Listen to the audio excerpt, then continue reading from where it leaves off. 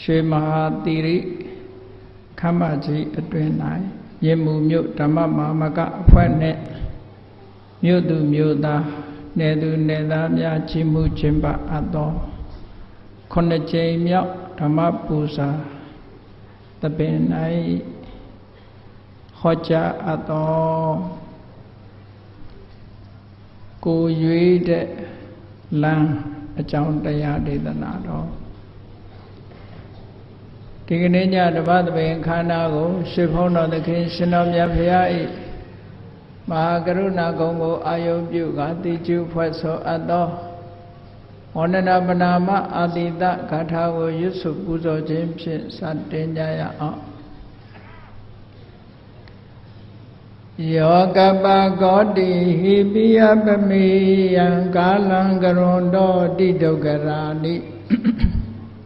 ခေရံကတောလောကဟိတယနာထောနမောမဟာကရုဏိကတတတ္တာယောနာထောဝိနိယမြာစွာတတ္တဝါဤချမ်းသာစီးပွားလိုလားတောင်းတဂုံပေါင်းခါသဖြင့်နာထမြညာခြင်းရှင်တော်မြတ်ဖရာသည် ကပ္ပကောတိဟိပိဂရေကဘာအရေးအတွက်အတင်ချာတို့ဖြင့်တော်လဲအပမေယံရည်အတွက်တိုင်းတာဖော်ပြခြင်းငါမစွမ်းနိုင်ပါသောကာလံလေးအသင်ချေသိမ့်နေကဘာရှိကြသောကာလပတ်လုံးလောကဟိတယတတလောကဤအကျိုးစီးပွားအလို့ငါအတိဒုက္ခရာနိဥ္စာတဲ့ချေလက်အင်္ဂါ မေတ္တာကြီးမာသမိတာနှင့်တထာဇနီဆွန်ញင်းကြီးဟုကျတိထဝေငါးသွဲအစုအလုံးခဲရင်တော်မူရောကိုကရွန်တော်ဖျားဖြစ်ရန်ဤတန်ကျုပ်ကုတ်အထုတော်မူရသည်ဖြစ်ဖြစ်ခေရန်လက်ချင်းမျက်လုံးအသက်ဆုံးလည်းနှလုံးစိမ်ဝံကိုရောဤပင်မညင်းတို့ ကတောဘဝတဏ္ဏကျိန်ဖန်များစွာ ရောက်တော်မူခဲ့ရရှာလိပြီမဟာကရုဏီကတတတ္တဝါများယင်ဝေတာကဲ့သို့တနာချစ်ခင်မဟာကရုဏာရှင်ဖြစ်တော်မူသောတသနာတသဝေနယများစွာတတ္တဝါဤချမ်းသာစေပါလိုလားတောင်းတဂုံပေါင်းကားသဖြင့် နာထမြညာထိုးရှင်တော်မြတ်ဖရာအားနမောယုတိပြောင်းပြောင်းမှန်ကိုလျော၍ကရောယုကျိုးရှိခိုးခြင်းသည်အထုဘဝတုစင်စစ်မသွေဖြစ်ပါစေတည်း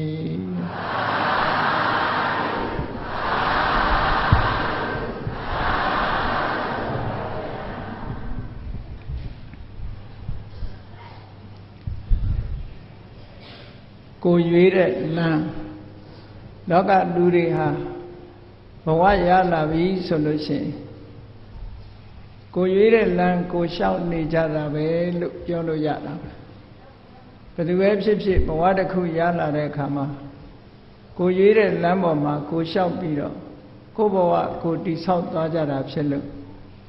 ဘုန်းကြီးတို့ဒီကနေ့ဗုဒ္ဓမြတ်စွာဟောကြားတော်မူခဲ့တဲ့ဒေသနာတော်တွေထဲမှာ ပုဂ္ဂလတုတ်တံဆိုတာပတိနိရိကောသလမင်းကြီးကိုမြတ်စွာဘုရားကပုဂ္ဂိုလ်၄မျိုးခွဲခြားပြီးတော့ဟောတာအဲ့ဒီပုဂ္ဂိုလ်၄မျိုးခွဲခြားပြီးဟောတဲ့ထဲမှာအဲ့ဒီပုဂ္ဂိုလ်၄မျိုးဟာ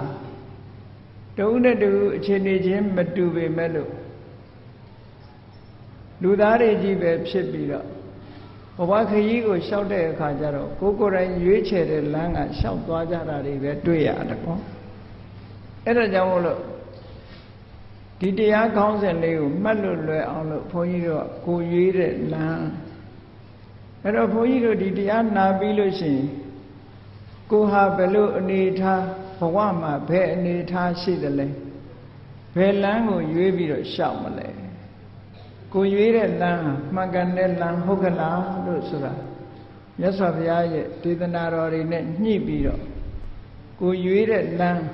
မှားနေတယ်ဆိုရင်လည်းပဲထပ်ပြင်မှုလိုအပ်တယ်အဲ့ဒီလမ်းကိုရပ်ဆိုင်ပြီးတော့မှန်ကန်တဲ့လမ်းတစ်ခုရှောက်ဖို့လိုအပ်တယ်မြတ်စွာဘုရားကမှန်တဲ့လမ်းနဲ့မှားတဲ့လမ်းလမ်းမှန်လျှောက်လို့ရှိရင်တော့လမ်းဆုံးရင်ကောင်းတာတွေ့မှာပဲလမ်းမကိုရှောင်မိပြီဆိုလို့ရှိရင်လမ်းဆုံးရင်တော့ဒုက္ခရောက်မှာပဲဒါကပဂတိလမ်းနေမှာတောင်ဒီအနေထားမျိုးတွေ့သေးတာပဲ လမ်းမကိုလိုက်သွားပြီဆိုလိုက်ကြတဲ့နောက်ဆုံးမှာလမ်းမရဲ့အဆုံးမှာကြုံတွေ့ရတဲ့အန္တရာယ်မျိုးစုံကြုံကြရလမ်းမဆိုတာကိုရောက်ချင်တဲ့နေရာကိုရောက်သွားတာကိုရွေးချယ်တဲ့ဘယ်နေရာကိုသွားမယ်လို့ဆိုတဲ့ကိုယ့်ရဲ့ရည်ရွယ်ချက်အတိုင်းရောက်တဲ့လမ်းကိုလမ်းမှန်လို့ပြောတာအေးလမ်းမဆိုတာ ကိုရွေးချယ်တာကိုရောက်ချင်တာကတဏီယာရောက်သွားတာကတဏီယာလို့ဆိုရင်လမ်းမလို့ခေါ်ရမှာပေါ့တဘာဝပဂတိလမ်းများကိုအဲ့ဒါလို့ခေါ်ရတယ်လို့ပဲဘုန်းကြီးတို့ဘဝခရီးကိုရှောက်လန်းကြတဲ့အခါမှာလည်းပဲကိုလိုချင်တဲ့အဖြေတွေတော့မဟုတ်ကိုလိုချင်တဲ့အခြေအနေတွေကိုမရဘူးဆိုလို့ရှိရင်လမ်းမလို့သတ်မှတ်ရ ကိုလိုချင်တာတွေရပြီဆိုလို့ရှိရင်တော့လမ်းမှန်လို့ဒီလိုသတ်မြတ်စွာဘုရားသခင်ကိုရောမြတ်ကတိတိလင်လင်ဟောထားတာရှိတယ်လေမိစ္ဆာမက္ခတမ္မာမက္ခဆိုတာအဲ့တော့မိစ္ဆာမက္ခဆိုတာမိစ္ဆာဆိုတာမှားနေတဲ့လမ်းကြောင်းကိုမိစ္ဆာမက္ခလို့ဒီလိုပြောတာတမ္မာမက္ခဆိုတာမှန်ကန်တဲ့လမ်းကြောင်းတနည်းအားဖြင့်ပြောမယ်ဆိုရင် ချီးမွမ်းပွဲကောင်းတဲ့လမ်းကြောင်းတနည်းအားဖြင့်ပြောမယ်ဆိုလို့ရှိရင်ရှောက်လန်းတဲ့ပုဂ္ဂိုလ်ကိုချမ်းသာဒုက္ခတွေကိုရစေပြီးသူ့ရဲ့လိုအင်ဆန္ဒကိုပြည့်ဝစေနိုင်တဲ့လမ်းကြောင်းလို့ဒီလိုယူရမယ်အဲ့တော့အခုလောကမှာဘုရားဘာသာဝင် သူတော်စင်တွေပြောပြောနေကြတဲ့မက်မက်နဲ့ပြောနေတဲ့စကားဟာလမ်းကြောင်းကိုပြောတာပဲမက္ခဆိုတာပါဠိစကား အဲ့ဒီပါဠိစကားမက္ခကိုပဲခဆိုတဲ့အတန်ဖြုတ်ပြီးတော့မက်လို့ပြောနေကြတယ်အေးအဲ့ဒီကနေအတန်တွေဘယ်ဒီအောင်ထွက်လာတော့ဆိုမက်ကြတယ်တို့ဖိုကြတယ်တို့ဒီလိုတွေဖြစ်လာတယ်နော်အဲ့တော့မှတ်ထားဖို့ရကမက္ခဆိုတာမြတ်စွာဘုရားကမက္ခလို့ခေါ်တာတနည်းအားဖြင့်မြန်မာလိုလမ်းကြောင်းလို့ပြောတာနှမျိုးရှိတယ်ရှေ့က မိစ္ဆာမက္ခနဲ့တမ္မာမက္ခလို့မှားယွင်းတဲ့လမ်းကြောင်းနဲ့မှန်ကန်တဲ့လမ်းကြောင်းလို့ဒီလိုနှမျိုးခွဲခြားပြီးတော့ဟောထားတယ်အဲ့ဒီထက်မဲ့မှားယွင်းတဲ့လမ်းကြောင်းကိုလည်းပဲအင်္ဂါ၈မျိုးနဲ့ဖွဲ့စည်းပြီးတော့ထားတယ်အင်္ဂါ၈မျိုးနဲ့ဖွဲ့စည်းထားတယ်မှန်ကန်တဲ့လမ်းကြောင်းကိုလည်းပဲအင်္ဂါ၈မျိုးနဲ့ဖွဲ့စည်းထားတယ်အဲ့တော့မှားယွင်းတဲ့လမ်းကြောင်းဆိုတာဘာတော့ပြော မိစ္ဆာဒိဋ္ဌိမှားယွင်းတဲ့အမြင်မိစ္ဆာသင်္ကပ္ပမှားယွင်းတဲ့အတွေ့အမြင်မှားပြီအတွေ့မှားပြီဆိုရင်ဒုက္ခရောက်မှာပဲပေါ့ဟောမိစ္ဆာဝါစာအပြောမှားမိစ္ဆာကမ္မန္တအလုတ်မှားတယ်မိစ္ဆာအာဇီဝအသက်မွေးမှုမှားတယ်မိစ္ဆာဝါယာမကျိုးပန်းအထုံးမှုတွေမှားတယ် မိစ္ဆာတတိစိတ်နဲ့အာယုတွိဆုံမှုတွေမှားတယ်မိစ္ဆာတမာတိစိတ်ရဲ့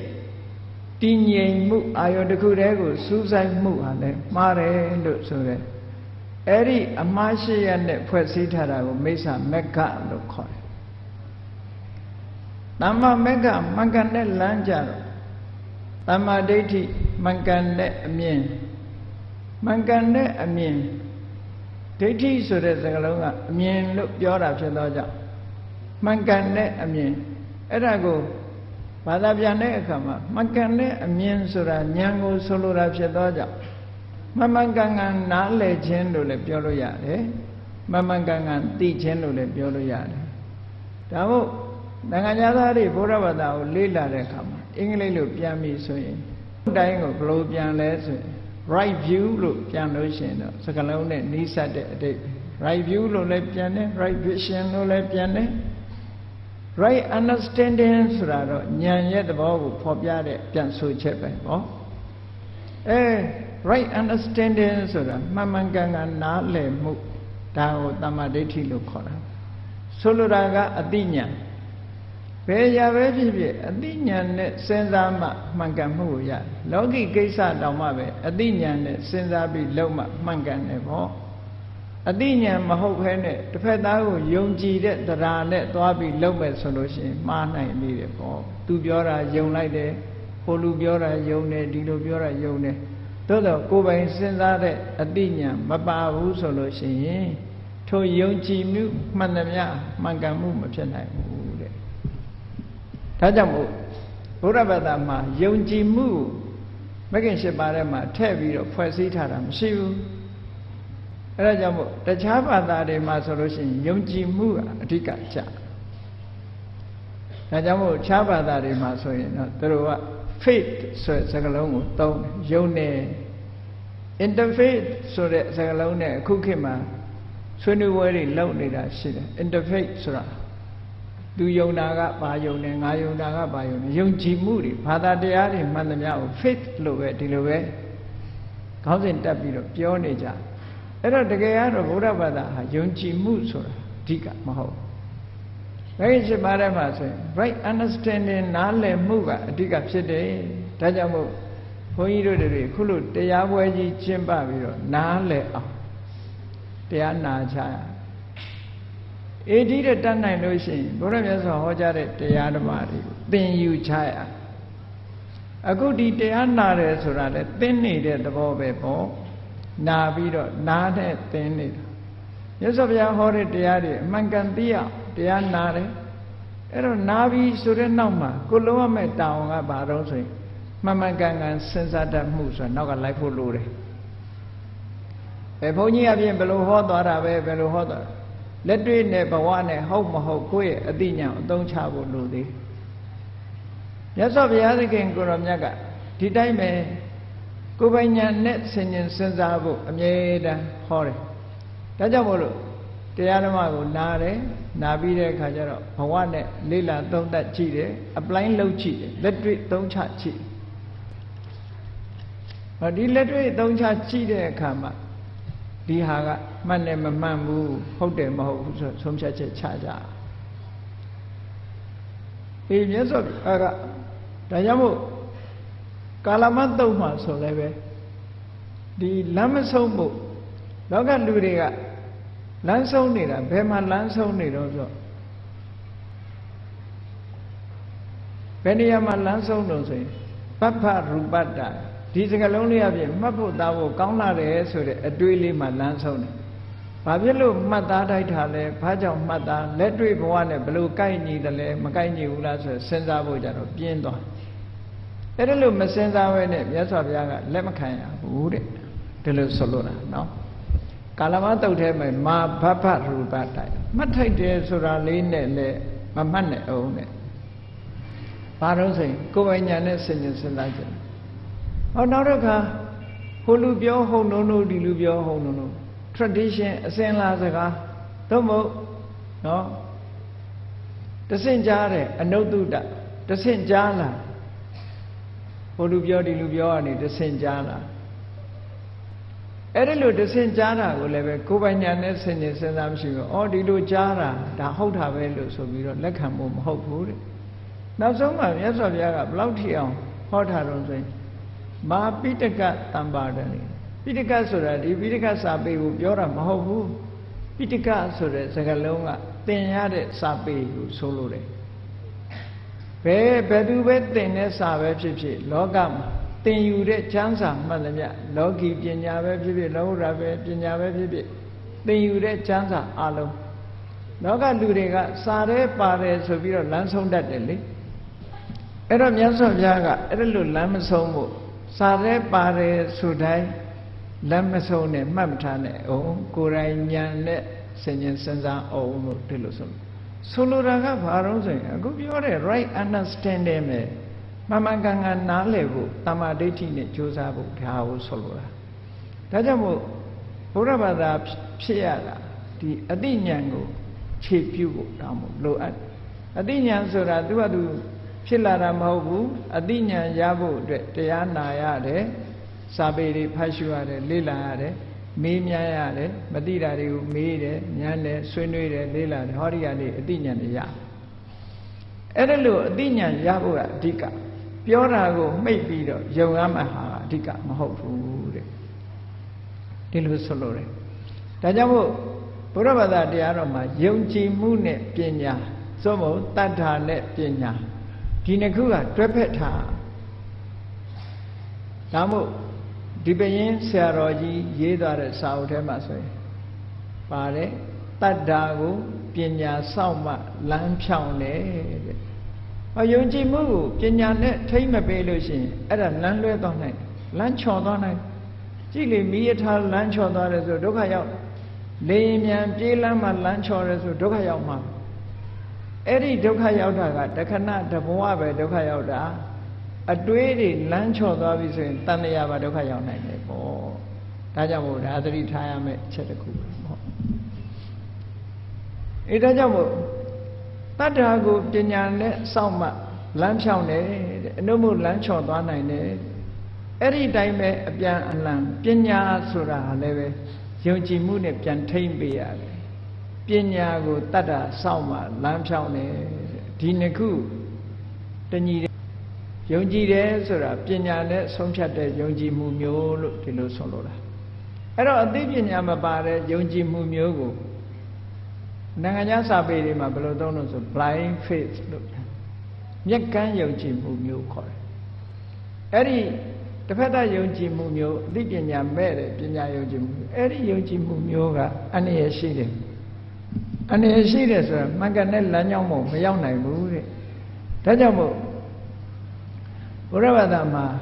အသိဉာဏ်ကိုဦးစားပေးတဲ့အနေနဲ့မြတ်စွာဘုရားကသမာဓိဋ္ဌိဆိုတာကိုရှေ့တန်းတင်ပြီးတော့ဟောဒီမက္ခကိုဖွဲ့စည်းပြီးတော့ထားတာ right understanding နဲ့မမှန်ကန်ကန်နားလည်ရမမှန်ကန်ကန်နားလည်ဆိုတာမမှန်ကန်ကန်တွေးတတ်ဖို့လိုတယ်အဲ့တော့မမှန်ကန်ကန်တွေးတယ်ဆိုတာဟာလည်းပဲအခြေခံအားဖြင့်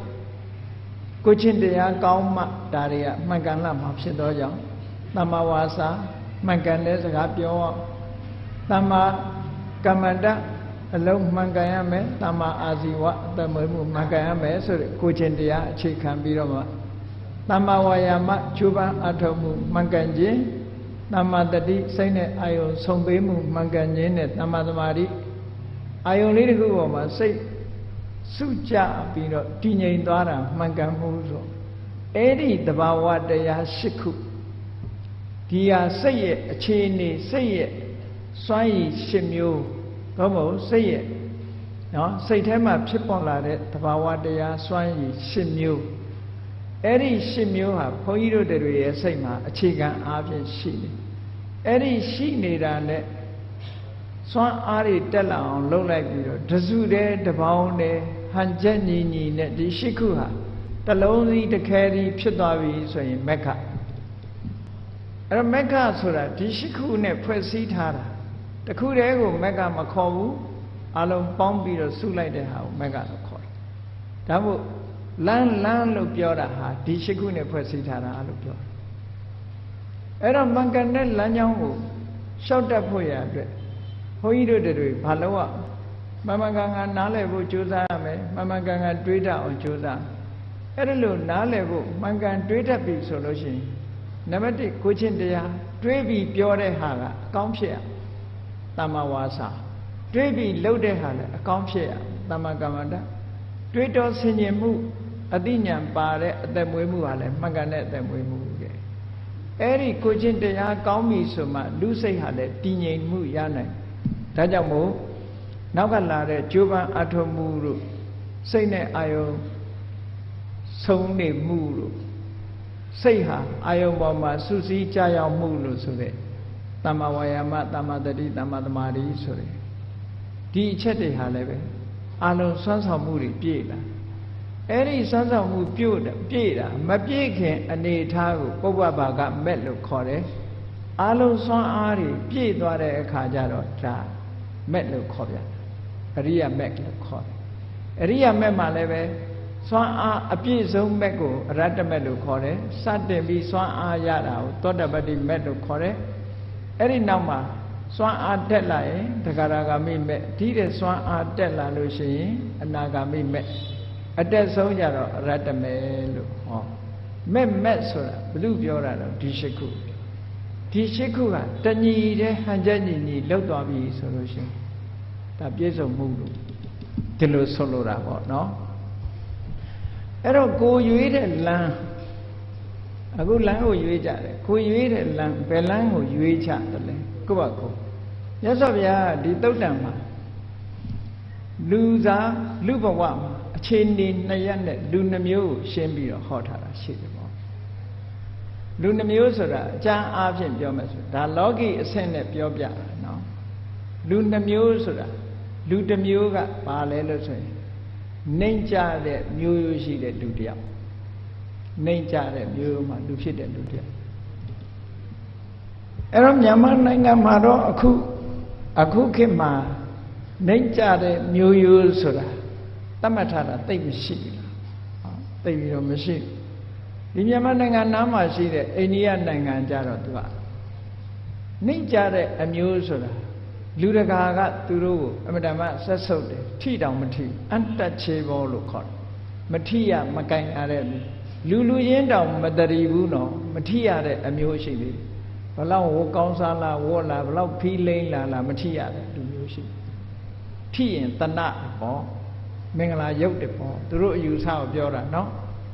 အဲ့ဒါကိုဇတ်နှိမ့်လို့ခေါ်တယ်အိန္ဒိယနိုင်ငံမျိုးဆက်နှိမ့်နေတဲ့ပုဂ္ဂိုလ်တွေအန်တချေဘောလို့သုံးတဲ့စကားလုံးကအန်တချေဘောထိ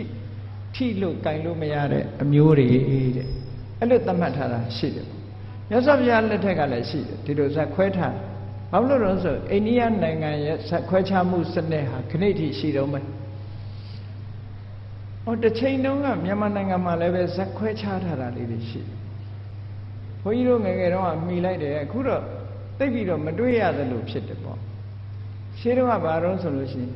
ဖရာကျွန်တို့ကျောင်းကျွန်တို့ကဲပါတို့သူဘရာဇာတို့ဆိုတဲ့ဟာတွေရှိတယ်။တမန်လူတွေအရတိုင်းမှာသူတို့ကသိပြီးတော့မဝင်ဆန့်ကြဘူးပေါ့။ဇက်ခွဲခြားထားတဲ့အနေထားမျိုး။အဲ့တော့ဇက်ခွဲတယ်ဆိုတာလူတွေဟာတဝိနဲ့တူဒီဆိုလိုတာကတော့အာဝါဟဝိဝါဟသဘော တဝိနဲ့တူအိမ်တော်ရသားမပြုတ်တဲ့မပြုတ်ရအောင်ရှောင်ထားတဲ့အမျိုးတွေပေါ့ရှောင်ထားတဲ့အမျိုးတွေအဲ့တော့မြတ်စွာဘုရားလက်ထက်ကအဲ့ဒါလို့လူဘဝရောက်လာတဲ့အခါမှာအောက်တန်းကြတဲ့အမျိုးဆိုတာဘယ်လိုအမျိုးတွေကိုခေါ်တာတော့ဆိုစာပေမှာနံပါတ်1ကစန္ဒာလဆိုတဲ့အမျိုးတဲ့အလုံးကြောက်ကြလိမ့်မယ်မာတင်ကဆိုတဲ့ဇာလန်းကိုလေ မာတင်ကဇာလန်းအလုံးကြောက်ကြတာအဲ့တော့စန္ဒာလဆိုတာအမှန်တမ်းအောက်တန်းကြတယ်ဒီပဇံချမ်းသာပြီးတော့ဇာမြင့်တဲ့ပုဂ္ဂိုလ်တွေကအမြဲတမ်းသူတို့ကိုအနိုင်ကျင့်တယ်ဒါဇာမြင့်တဲ့ပုဂ္ဂိုလ်ကအနိုင်ကျင့်တာဂတိထိရှိတယ်ဘုန်းကြီးတို့ကိုယ်တိုင်ကိုအိန္ဒိယမှာနိုင်နေတော့ကဇာမြင့်နဲ့ဇာနိုင်အနိုင်ကျင့်တာတွေကိုမကြာခဏလမ်းပေါ်မှာကြုံခဲ့ရတာရှိတယ် ဒီချူဆိုတဲ့တက္ကသိုလ်ကြီးကိုသွားတော့အပြန်ကြတဲ့အခါသုံးမင်းကားနဲ့ဘုန်းကြီးတို့ကအိန္ဒိယကဘုန်းကြီးတစ်ပါးနဲ့သုံးမိကားပေါ်မှာစီးပြီးတော့လာ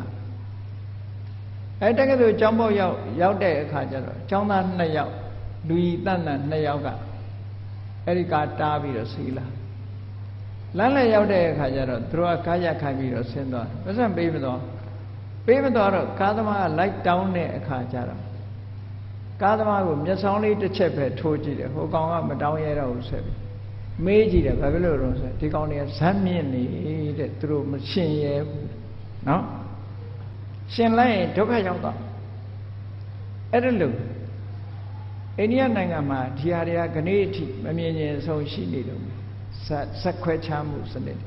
ဒါကြောင့်မို့လို့မြတ်စွာဘုရားတရားတော်တွေကိုလေ့လာတဲ့အခါမှာအိန္ဒိယနိုင်ငံကလူနေမှုစနစ်တွေကို ထင်ဟပ်နေတာတွေအများကြီးရှိတယ်ဆိုတာကိုတတိထားဖို့လိုတယ်ပေါ့အဲ့ဒီမှာကြည့်မဲ့ဆိုလို့ရှိရင်နီစကုလအောက်တန်းကြတဲ့အမျိုးမှာလူလာဖြစ်တယ်ဆိုတာဘယ်လိုအမျိုးတုံးဆိုနံပါတ်1ကစန္ဒာလနော်စန္ဒာလဆိုတာဗမာတွေကတော့လွယ်လွယ်ကူကူဒွန်းစန္ဒာလို့ပြန်လိုက်ကြဒွန်းစန္ဒာစန္ဒာလဆိုတာ အင်တမကြမ်းကြမ်းထန်ထန်လောက်ကန်စားတော့ရတယ်သူများအညစ်ကြေးတွေတန်ရှင်းရတာတို့ဘာတို့ကစားပြီးတော့အောက်တန်းကြတဲ့အလုပ်တွေလုပ်ရတယ်ပုံကူမျိုးတွေနောက်တစ်ခုကဝေနနှီးလုပ်ငန်းနဲ့ပတ်သက်ပြီးတော့လုပ်ကြရတယ်ဒါသူတို့ခေတ်ကသူတို့နိုင်ငံမှာသတ်မှတ်ထားတဲ့လုပ်ငန်းတွေပေါ့အော်အဲ့ဒီလုပ်ငန်းတွေလုပ်ထားတယ်တို့ဒါဒီခေတ်ဒီအကုန်လုံးကဗမာပြည်နဲ့တော့နေတာဒမုတ်ဆိုးတန်ကလုပ်ငန်းတွေလုပ်ထားတော့ ဒါလည်းပဲတစ်ချိန်တုန်းကဒီကနေ့ခေတ်တော့ဒီခေတ်ဆိုတာကပြောင်းသွားတယ်တခါတခါဒီအရက်ထဲမှာရှေးတုန်းကဂုံမရှိတဲ့အလုပ်ပဲမဲ့လို့ဒီခေတ်မှာဂုံရှိတဲ့အလုပ်ဖြစ်ခြင်းဖြစ်တယ်ဘုန်းကြီးတို့စဉ်းစားကြည့်မိတယ်ငယ်ငယ်တုန်းကဘုန်းကြီးတို့မွေးဖွားတဲ့ဇာတိရွာမှာဇာတိရွာကမြစ်ကမ်းနဲ့နီးတယ်ဆိုတော့ပတ်ဝန်းကျင်မှာ နေရာကိုင်းကျွန်းနေလောက်ကန်စားတော့တဲ့ပုဂ္ဂိုလ်အများတယ်သို့တော့ဘုန်းကြီးတို့နေတဲ့မွေးတဲ့ရွာရဲ့ရွာမှာတဲ့အိမ်တည်းပဲတငါလောက်တာရှိတယ်အဲ့ဒီခေတ်ကအဲ့ဒီတငါလောက်တဲ့အိမ်ဟာဘယ်တော့ဖြစ်ဖြစ်ဘုံရှိုးကွယ်ရှိုးငွယ်ရှိုးလေးပဲတခြားအိမ်တွေနဲ့တိတ်ပြီးမဆက်ဆံကြသူ့ကိုတိတ်မဆက်ဆံကြတခြားအိမ် အဲ့ဒါလိုနေတာကိုတွေ့ရကျန်တဲ့အိမ်တွေကနေရာကိုင်းကျွန်းလောက်ကင်စားတော့ကြတယ်နေရာကိုင်းကျွန်းလောက်ကင်စားတော့တယ်အေးအင်းတိုင်တို့အင်းတကြီးတို့ကနေလာပြီးတော့ငါးရောက်တဲ့အခါဝယ်စားတယ်သို့တော့မိနိကိုယ်တိုင်ရေထဲမှာငါးမြားတာတို့ငါးဖမ်းတာတို့ဒါတွေမလုပ်ဘူးလုပ်တဲ့လူကိုလည်းပဲအဲ့ဒီရွာကတိတ်ပြီးတော့အဖက်မလုပ်ကြဘူးဆိုတာဘုန်းကြီးတို့ငယ်တော့တွေ့ကြ ဒီကနေ့ခေတ်တော့အဲ့ဒါလုံးဝဂုံရှိတယ်ဖြစ်တယ်နော်ပြောင်းလဲလာမှုဟာရှိတယ်ဒီကနေ့ခေတ်မှာမိဘကိုရိုသေပြီးတော့မိဘကိုလေးစားပြုစုတဲ့ပုဂ္ဂိုလ်တွေဟာချီးမွမ်းခံရအေးနောက်စနစ်တန်းရောက်လို့ရှိရင်မိဘကိုစော်ကားတဲ့လူကချီးမွမ်းခံရမယ်တဲ့ရိုသေတဲ့လူတွေကဟောအကဲ့ရဲ့ခံလူနိုင်လူနုံလူအဆိုပြီးတော့ပြော ပြောင်းသွားတယ်ဆိုတာကိုဒါအမတန်မှဒီကနေ့ခေတ်မှာကုသိုလ်လုပ်တဲ့လူကချီးမွမ်းခံနောက်တစ်ခေတ်ကျအကုသိုလ်လုပ်တဲ့လူကချီးမွမ်းခံအောင်ပြောင်းပြန်ရှင်းလင်းပြီးတော့ဟောထားတာရှိတယ်ယနေ့လူသားများရဲ့နိဗ္ဗာန်ကဘာဆိုမြတ်စွာဘုရားဟောထားတဲ့တရားကိုလူတွေနားလည်အောင်လို့ရှင်းရှင်းလေးဟောပေးထားတာရှိတယ်အဲယနေ့လူသားများရဲ့နိဗ္ဗာန်ကဘာဆိုတာအမတမနီးနီးနီးနီးလာတဲ့အနေအထားမျိုးလေးတွေတွေ့ရတယ်ပေါ့ဒါကိုရွေးတဲ့လမ်းကိုကိုလျှောက်နေကြတာပဲ ကိုရွေးတဲ့လမ်းကိုကိုလျှောက်တာအေးကောင်းပြီဆိုလိုတာကဒီလောကမှာလူရလွတ်ဖြစ်လာလို့ရှိရင်အောက်တန်းကြတဲ့အမျိုးလို့ဆိုတာတစ်ခေတ်တစ်ခါမှာသတ်မှတ်ထားတာရှိဒီကနေ့ခေတ်မသတ်မှတ်ပေမဲ့ဟိုခေတ်တုန်းကသတ်မှတ်ခဲ့တာလည်းရှိအဲ့ဒါဟိုခေတ်တုန်းကသတ်မှတ်ခဲ့တဲ့အနေအထားအရပြောတယ်လို့ဒီလိုမှတ်ဒီကနေ့ခေတ်မှာသတ်မှတ်ချက်ကလည်းပဲဒီကနေ့ခေတ်နဲ့ပဲသက်ဆိုင်တယ်လို့ဒီလိုမှတ် နောက်တစ်ခေတ်ရောက်လို့ရှိရင်လည်းပြောင်းလဲသတ်မှတ်မှုတွေဖြစ်လာအောင်ပါပဲဒါကလူလောကလူဖြစ်စဉ်ကြီးရဲ့လူရဲ့ဒီဘဝသမိုင်းကြီးဆိုတာသာဝရရွေရှားနေတဲ့အနေအထားကြီးတစ်ခုပဲမတူညီတဲ့ဖြစ်စဉ်တွေနဲ့သွားနေမှာပဲပြောင်းလဲနေတဲ့သမိုင်းဖြစ်စဉ်ကြီးထဲမှာအဲ့တော့မြတ်စွာဘုရားဟောထားတဲ့တရားတွေရဲ့ကိုချင်းတရားဆိုတာလူတွေဘယ်လိုပြောင်းပြောင်းမြတ်စွာဘုရားဟောထားတဲ့တရားသာဝရမှန် ဘယ်တော့မှဘုရားဟောတဲ့တရားဟာဒိတ်အောက်သွားတယ်လို့မရှိဘူးသို့တော်လူတွေရဲ့ကျင့်သုံးမှု အနေထား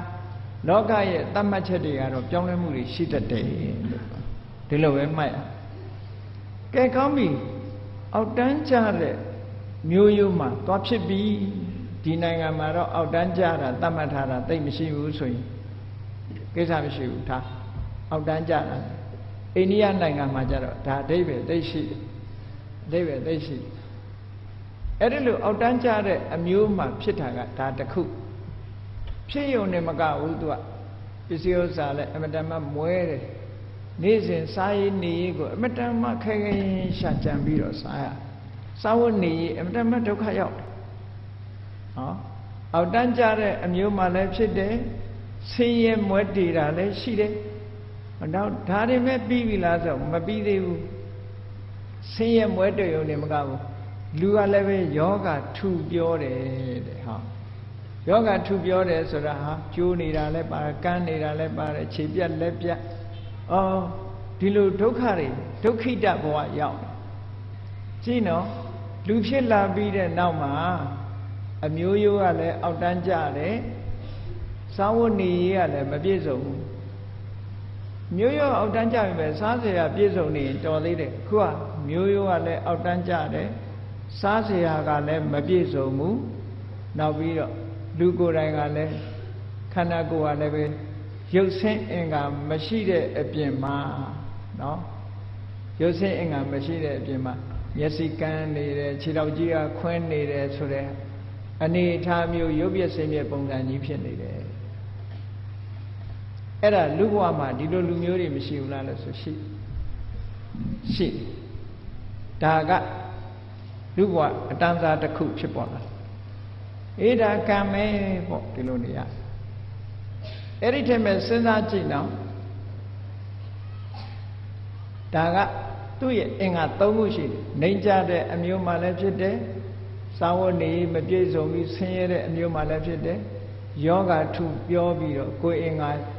ချွတ်တဲ့တဲ့ပုံကိုလည်းဖြစ်တယ်လို့ဆိုသူကအကောင်းကိုတစ်ခုမှမရှိအကောင်းကိုတစ်ခုမှမရှိလူဘဝရောက်ကဲနောက်တစ်ယောက်ကိုစဉ်းစားကြည့်လိုက်နောက်တစ်ယောက်ကြတော့လူတွေအထင်ကြီးတဲ့အထက်တန်းကြတဲ့အမျိုးမှဖြစ်တယ်စာဝတ်နေရေးလဲပြည့်စုံတယ်ရုပ်ဆင်းအင်္ဂါကလည်းလှပတယ်ကိုယ်အင်္ဂါလည်းပဲတန်ဆွမ်းတယ်ဟောဒီလိုလူကတစ်မျိုးပေါ့ ကဲအဲ့ဒီနှမျိုးပဲခွဲကြည့်လိုက်ဘုန်းကြီးတို့လောကကြီးကိုလူဘဝမှာလူဒန်းစားနှမျိုးကိုခွဲကြည့်လိုက်ဒါကဘယ်သူကခွဲတာတုံးဆိုဘယ်သူမှမခွဲဘူးကံတရားကနေခွဲပေးလိုက်တဲ့လူဒန်းစားနှစ်ရနော်အဲ့ဒီလူဒန်းစားနှစ်ရဟာဘဝရဲ့အကျိုးပေးနဲ့အခုလိုကွဲလာ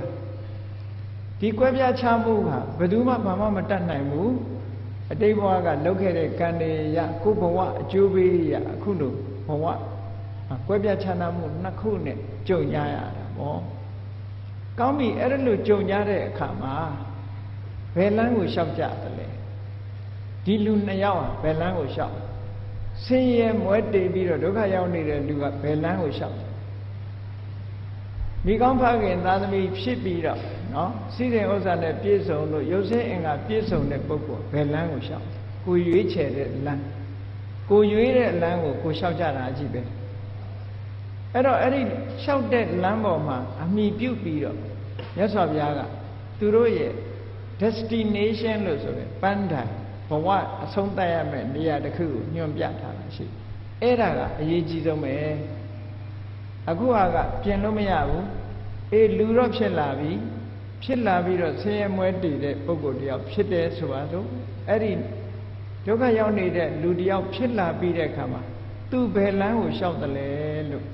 သူလျှောက်တာလမ်းနှစ်သွယ်ရှိတယ်ဟောအဲ့ဒီလိုလူမျိုးကလမ်းနှစ်မျိုးကိုလျှောက်တယ်ဒါလမ်းတစ်သွယ်ဆိုတာဘာတော့ဆိုခုနကမှားရင်းတဲ့လမ်းကြောင်းကိုသူလျှောက်တယ်ဆိုလိုတာကဘာတော့ဆိုကာယဒုစရိုက်တွေသူလုပ်တယ်ဝစီဒုစရိုက်တွေလုပ်တယ်မနောဒုစရိုက်တွေလုပ်တယ်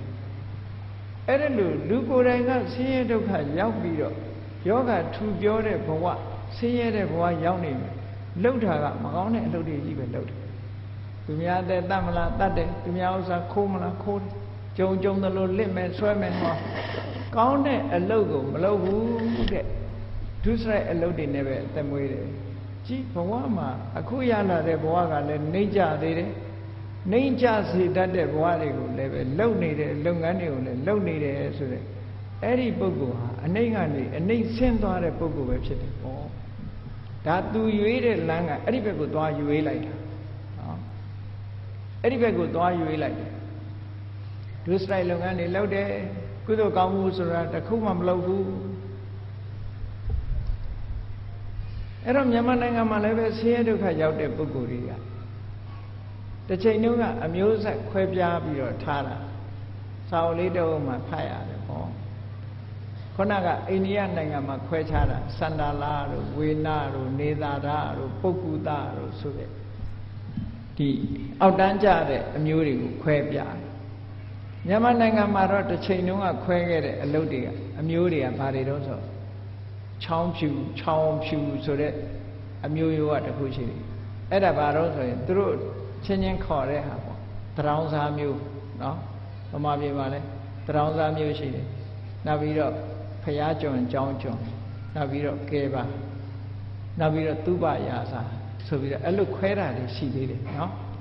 ဗမာပြည်မှာတစ်ချိန်တုန်းကခေါ်ခဲ့တယ်အဲ့လိုခေါ်ခဲ့တာ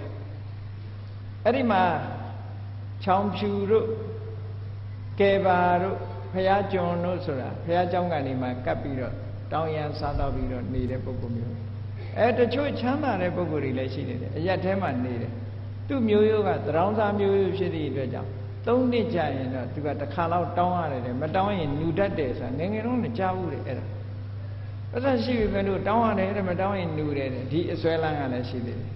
အဲ့တော့အကုသိုလ်ကံကဘလောက်ဆိုးလို့မတောင်းရင်ညူမှကြောင်းတော့မတောင်းကျင်ပဲနဲ့တောင်းနေရတယ်ဆိုတဲ့အဓိပ္ပာယ်ရတယ်ပေါ့မတောင်းမဲ့နေကြည့်ညူချင်မှလည်းညူမှာပေါ့သို့တော်လည်းအစင်လာယုံကြည်မှုကြောင့်တရောင်းသားဟာတရောင်းသားပဲပြန်ဖြစ်နေရတယ် အဲသူတို့ကတော့တိတိတသာအိမ်နေထွက်ပြီးတော့တရောင်းသားအဝတ်ဝတ်ပြီးတော့မတောင်းဘူးတဲ့ဘာလို့တော့ဆိုရင်ကိုအိမ်ကသမင်းညာလေးရှိရင်တော့ပေးစမ်းမအောင်သမင်းမချက်အားသေးလို့ဘာလေးရှိရင်ပေးစမ်းမအောင်လို့အိမ်ချင်းချင်းတောင်းတဲ့အနေအထားမျိုးလေးနဲ့တောင်းတယ်လို့ဘယ်လိုဖတ်ရစာအုပ်တွေအဲ့တော့သူဝရာသာဆိုတာတွေလည်းငယ်ငယ်တုန်းကမှီလိုက်တယ်ပေါ့မန္တလေးရဟိုင်းတုတ်တန်ထဲမှာဆိုသူဝရာသာရှိတာ တချို့သူဝရာသာတွေကအလွန်ချမ်းသာတယ်ရွှေတွဲလဲငွေတွဲလဲညဆိုလို့ရှိရင်တော့သူကမြို့ထဲမှာဒီပြင်လူတွေလိုနေကြတော့တော့တင်းញိုင်းမှာပဲနေကြလာတဲ့ညအချိန်မတော်လာရောက်ပြီးတော့မြုပ်တဲ့အလောင်းတွေပါတွေပို့ရင်သူတို့ကဒါမြုပ်နှံပေးတယ်ပတ်စံငွေကြေးရကြတယ်ဟောဒါပမာပြေးမှာတစ်ချိန်တုန်းကအဲ့ဒါလိုအနေထားမျိုးလေးတွေရှိတယ်ပေါ့အဲနောက်ပိုင်းကျတော့တခါနိုင်ငံရေးအစိုးရတွေလက်ထက်တုန်းက ဖဆဝလအစိုးရလက်ထက်တုန်းကတွေးလိုက်ဖူးတယ်အဲ့ဒီကယ်ဘာတွေနဲ့ဝန်ကြီးတွေနဲ့ထမင်းတူတူစားပြီးလူဒန်းစားပတ်ပြောက်သွားအောင်ကြိုးစားမှုတစ်ခုသတင်းစာတွေကဖတ်လိုက်ရတယ်ပေါ့အဲ့ဒါကြောင့်မို့လို့ထမရဲ့ဒီကနေ့မြန်မာနိုင်ငံမှာဇက်ခွဲခြားတယ်ဆိုတဲ့အနေအထားတစ်ခုကမရှိလူချင်းတူတူပဲသို့တော့ဘဝကပေးတဲ့အခြေအနေကတော့မတူကြဘူးပေါ့ဘဝပေးတဲ့အခြေအနေကတော့မတူဘူး မျိုးရိုးအနေနဲ့ကတော့ရှိခြင်းရှိမဲ့သို့တော့ဆင်းရဲတဲ့လူရှိတယ်ယောဂထူပြောတဲ့ပုဂ္ဂိုလ်ရှိတယ်ချမ်းသာတဲ့ပုဂ္ဂိုလ်ရှိတယ်ယောဂကင်းစင်ကျမ်းမာတဲ့ပုဂ္ဂိုလ်ရှိတယ်ကောင်းပြီဘယ်လိုမျိုးရိုးဘယ်လိုပုဂ္ဂိုလ်ပဲဖြစ်ဖြစ်ဟောကိုရွေးတဲ့လမ်းကဘာလဲလူဖြစ်လာပြီးတဲ့အခါဘာကိုရွေးတာလဲဆိုတာအဓိကကြအဲ့တော့မြတ်စွာဘုရားကပုဂ္ဂိုလ်၄မျိုးခွဲခြားပြီးတော့ဟောတဲ့အခါ အခုလို့ဘဝမှာနှိမ့်ကြပြီးတော့ရုပ်ဆင်းအင်္ဂါကလည်းပဲရုပ်ပြည့်ဆင်းပြည့်ဖြစ်နေတဲ့ပုဂ္ဂိုလ်တယောက်ဟာသူဘယ်လမ်းကိုရွေးလိုက်တယ်လဲလို့ဆိုရင်ဒုစရိုက်လမ်းကိုသွားရွေးတယ်ဒုစရိုက်လမ်းကိုရှောက်တယ်ဘာလို့လဲဒုစရိုက်လမ်းဆိုတာအတွေးကလည်းပဲမှန်ကန်တဲ့အတွေးမရှိဘူး သူများပစ္စည်းကိုလည်းလိုချင်တယ်ဆိုတဲ့အဘိဓါတွေရှိတယ်သူများကိုတတ်လို့ဖြတ်လို့ညှင်းဆဲလို့တဲ့ဖြာပါရဆိုတာတွေလည်းရှိတယ်ဟောစိတ်แท้ကအတွေးကိုကအကောင်းမတွေးလာဘူးတဲ့ဒါကမနောဒုစရိုက်ဒီဒုစရိုက်ကိုရွေးချက်တခါနှုတ်ကထုတ်ပြောတဲ့အခါမှာဘာပြောတယ်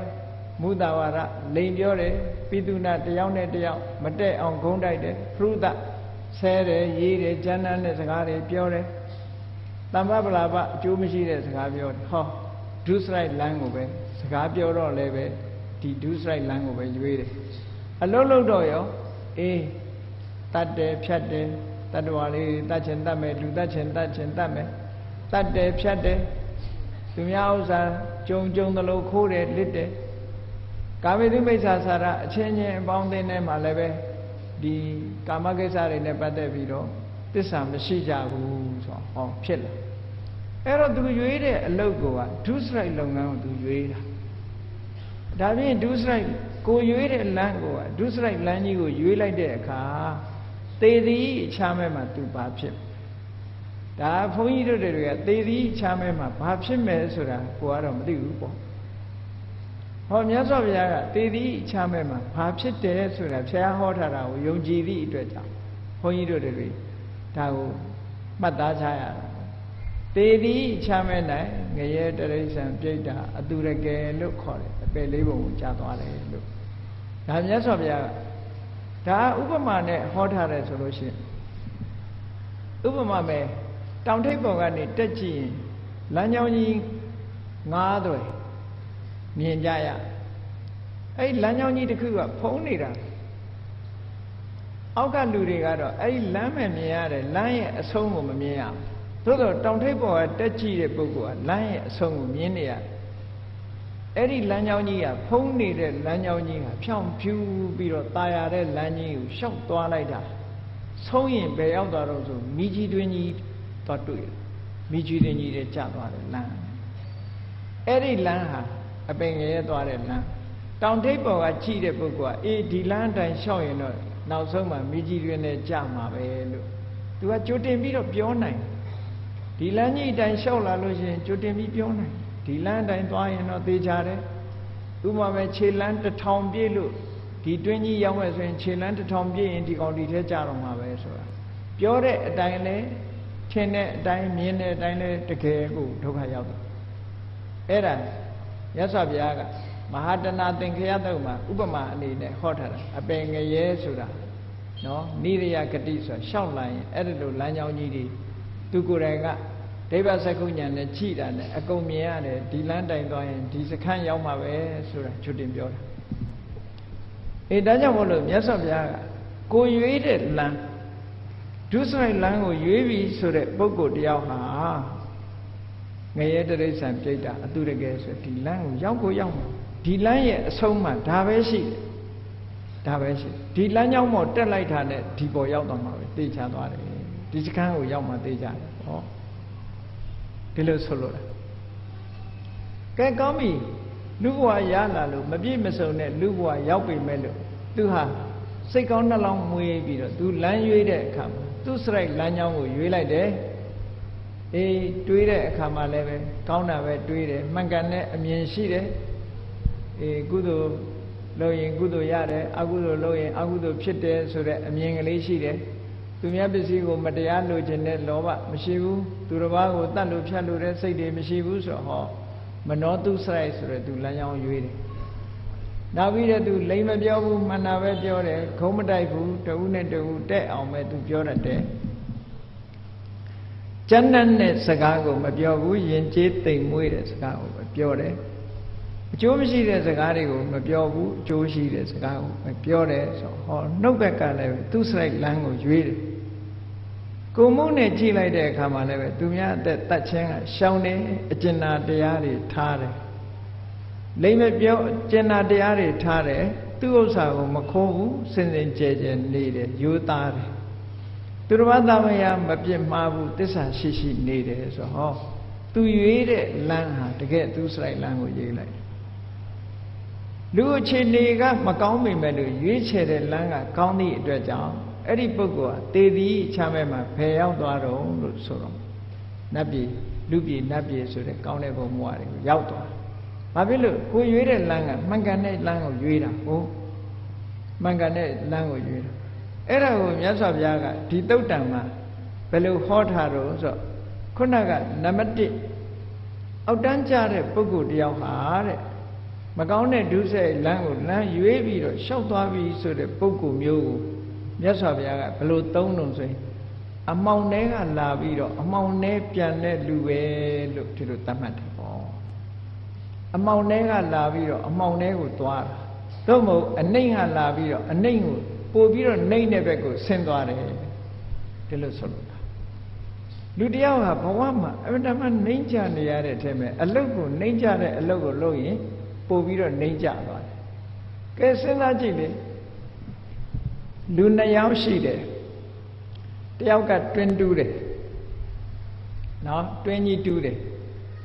တယောက်ကပယံလုတ်ပြီးတော့တတိုင်းတတိုင်းဆင့်တယ်ပေါ့ကဲတွင်းတူးတဲ့လူဟာတွင်းနဲ့လေလေအောက်မဆင်းရဘူးလားအေးတွင်းတူးတဲ့လူဟာအောက်တစ်ဖြည်းဖြည်းနှိမ့်သွားတာပဲတတိုင်းဆင့်တဲ့လူကတော့ဟော တတိုင်းမြင့်သွားရင် तू မမီသည့်အတွက်ကြောင့်ညမ်းမဆင်ရဘူးလားညံစင်ကတော့ तू ကမြင့်မြင့်မသွားဘူးလားတိုက်တယ်တဲ့လူတွေကြည့်လေအောက်ကနေပထမတိုက်ဖောင်ဒေးရှင်းချတော့ကတော့မြေကြီးပေါ်ရက်ပြီးလုံးလို့ရတယ်အတော်လေးမြင့်လာတဲ့အခါကျတော့ညံစင်ပြီးအပေါ်ဟောမြင့်မြင့်မသွားဘူးလားမြင့်သွားတာဒါကြောင့်မို့နီတိကျမ်းတွေကပြောတာတွင်းတူးတဲ့လူကတော့နှိမ့်ကျသွားတတ်တယ်တဲ့တွင်းတဲ့လေလူနှိမ့်လေပဲတဲ့ ဩတတိုင်းစီတဲ့လူကတော့တတိုင်းမြင့်လေလူကအထက်တန်းကျလေဒါကဥပမာအနေနဲ့ပြောတာအဲ့တော့ခုနကနံပါတ်1လူမျိုးဟာဘဝမှာနှိမ့်ကျရတဲ့ဘဝဖြစ်ပါရဲ့တန်းနဲ့လှုပ်လိုက်တဲ့ရွေးလိုက်တဲ့လမ်းကလည်းပဲနှိမ့်ကျတဲ့လမ်းကိုရွေးသည့်အတွက်ကြောင့်သူကနှိမ့်ရာကနှိမ့်ရံကိုဆင်းသွားတဲ့လူနဲ့တူတယ်အောက်တန်းကျတော့ဒါဘယ်သူရွေးတော့ကိုရွေးတာကိုရွေးတယ်အဲ့တော့ဘုန်းကြီးတို့တွေကိုဘဝ ပစ္စုပန်အနေထားဘယ်လိုပဲရှိရှိရွေးတဲ့လမ်းကနှိမ့်ကျသွားတဲ့လမ်းကိုမရွေးသင့်ဘူးဆိုတာကိုဒါသိဖို့လိုတာပေါ့ဟောနောက်တစ်ခုဘဝတော့နှိမ့်ကြပါရဲ့ဒါပေမဲ့ရွေးတဲ့လမ်းကသူစရိုက်လမ်းကိုရွေးလိုက်တယ်ရွေးလိုက်သည့်အတွက်ကြောင့်နောက်ဘဝရောက်တဲ့အခါမှာနတ်ပြည်ဖြစ်သွား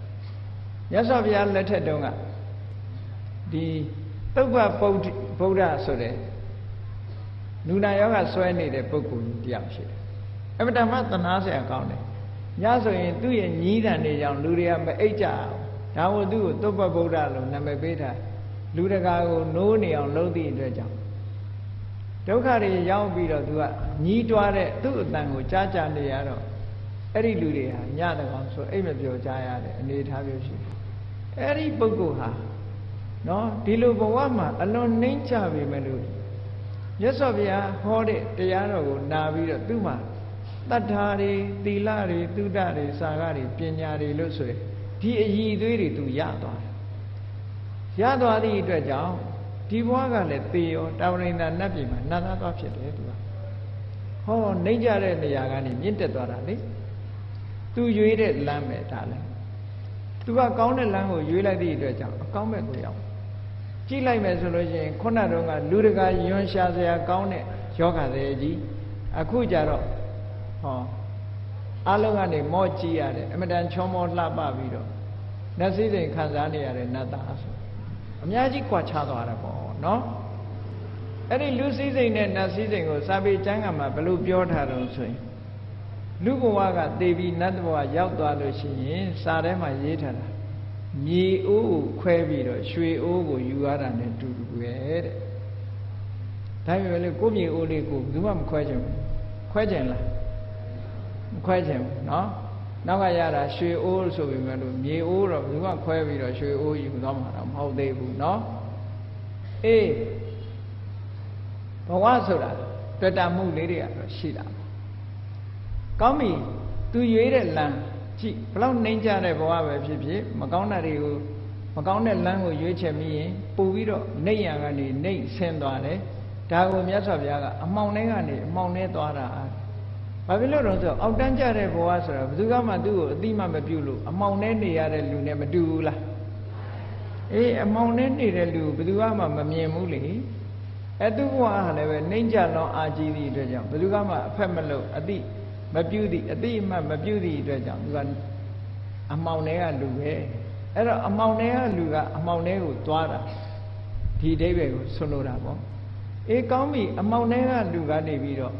ကောင်းတဲ့အလုပ်တွေကိုလုပ်လိုက်တဲ့အခါကျတော့သူစရိုက်လုပ်ငန်းတွေကိုရွေးပြီးတော့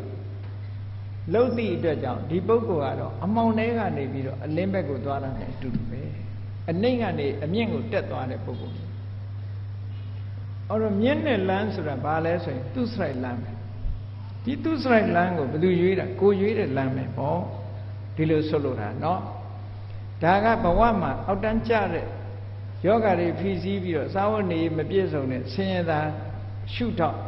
ကြည့်ပြီးတော့ရွေးချယ်တာကိုပြောပြကဲနောက်တစ်ခုလူဘဝမှာဟုတ်လားချမ်းချမ်းသာသာနဲ့ဘဝမှာ ကိုယ်အင်္ဂါပြည့်ပြည့်စုံစုံနဲ့စားနိုင်တောက်နိုင်မကြောင်းမကြအတိညာရှိရှိနဲ့ယစီနာနာလျာကိုယ်အင်္ဂါနဲ့ပြည့်ပြည့်စုံစုံနဲ့ရုပ်ရည်တန်တန်ပြတ်ပြတ်နဲ့လူဘဝရတဲ့လူတွေရောမရှိဘူးလားအေးအဲ့ဒီလူတွေကရောသူတို့ရွေးတဲ့လမ်းတွေကိုကြည့်အဲ့ဒါလို့လူကြည့်လိုက်တော့လူရည်တန်ကလေးပဲတဒါလိုက်ဒါပဲမဲ့လို့ဆိုးလိုက်တာအရက်ကမိုးမလင်းဘူးတဲ့မရှိဘူးလားအဲ့ဒါလို့အကစားတွေလှုပ်တယ်တဲ့ မိဘသားကောင်းမိမိဘတွေကမိမိမိကောင်းဖခင်သားသမီးဖြစ်ပေမဲ့လို့မိမိဘဆုံးမတာကိုနားမထောင်ဘူးအကစားဖက်တယ်အတော်စားတွေနဲ့ဒုစရိုက်သမားတွေနဲ့ရောနှောပြီးတော့တေးလေပြီးလှုပ်နေတဲ့ပုံကိုယ်တွေမရှိဘူးလားပြောလို့ဆုံးမလို့မရတဲ့အနေအထားမျိုးရောက်ပြီးတော့လူဆိုးတွေနဲ့ပေါင်းပြီးတော့သိုးသွမ်းနေတဲ့ပုံကိုယ်မျိုးဟာနော် အခြေအနေကောင်းတစ်ခုကနေပြီးတော့ तू ရွေးလိုက်တဲ့လမ်းကဒုစရိုက်လမ်းကြီးကိုရွေးလိုက်တာဖြစ်တော့ကြကြတော့ तू ကခုနအပင်ငရဲကြသွားတယ်ဟောအဲ့ဒီပုဂ္ဂိုလ်ကြတော့ဘာလို့ပြောတော့ဆိုရင်ကြည့်အမြင့်ကနေအနှိမ့်ကိုဆင်းသွားတွင်တူးတဲ့လူနဲ့တူတူပဲသူကမြင့်နေတဲ့အနေထားကနေအနှိမ့်ကိုဆင်းသွားတာမြတ်စွာဘုရားကတော့ဘယ်လိုပြောတော့ဆိုဟေးအလင်းထဲကနေအမှောင်ထဲဝင်သွားတဲ့လူတဲ့ဒီလူကဟုတ်ကလားငါကတော့သူဒီကောင်းဖခင်သာသမီ နော်စားနိုင်တောင်းနိုင်ပြည့်ပြည့်စုံစုံရုပ်ဆင်းအင်္ဂါချောမောလှပရဲ့တန်နဲ့ဒီလိုအလင်းရောင်ထဲမှာရှိနေရဲ့တန်နဲ့လှုပ်လိုက်တဲ့အလုပ်တွေကအမှောင်တဲ့အလုပ်တွေကိုလုပ်တယ်ဒါကြောင့်မို့လို့အလင်းထဲကနေအမှောင်ထဲရောက်သွားတဲ့လူတဲ့အဲ့ဒီပုဂ္ဂိုလ်နောက်စားဒီတဲ့အောက်တန်းကြတဲ့ဘဝတစ်ခုကိုရောက်တာဒီလမ်းကိုလည်းဘယ်သူရွေးတာလဲဆိုသူရွေးတာပဲပေါ့ကဲနောက်တစ်ယောက်ကအဲ့ဒါလိုမျိုးဇာတိမှာမျိုးဇာတိဟာ လူအင်္ဂါတွေမှလူအများကလက်ခံလေးစားရတဲ့မျိုးဇာတိမှာဖြစ်ပြီးကျမ်းမာတန်ဆွမ်းလို့စီးစိမ်ဥစ္စာနဲ့လည်းပြည့်ပြည့်စုံစုံနဲ့အဲ့ဒါလိုဘဝမျိုးကိုရရှိထားတဲ့လူတယောက်ဟာသူကဘာရွေးတုံဆိုကောင်းတဲ့ဘဝရောက်လာတော့ကောင်းတဲ့အလုပ်တွေလုံးမှပဲလို့ဆိုပြီးတော့ဟောသူစရိုက်လုပ်ငန်းကိုသူကရွေးတယ်သူစရိုက်လုပ်ငန်းကိုလုပ်ရွေးတယ်အတွေးကလည်းပဲကုသိုလ်လုပ်ရင်ကုသိုလ်ရမယ်အကုသိုလ်လုပ်ရင်အကုသိုလ်ဖြစ်မယ် ငါကောင်းတာလုံးဝကောင်းတာဖြစ်မယ်ဆိုရင်မှန်ကန်တဲ့အမြင်တစ်ခုရှိတယ်ရှိုံနဲ့မကဘူးသူများပစ္စည်းကိုမတရားလိုချင်တဲ့လောဘသူတစ်ပါးကိုအလို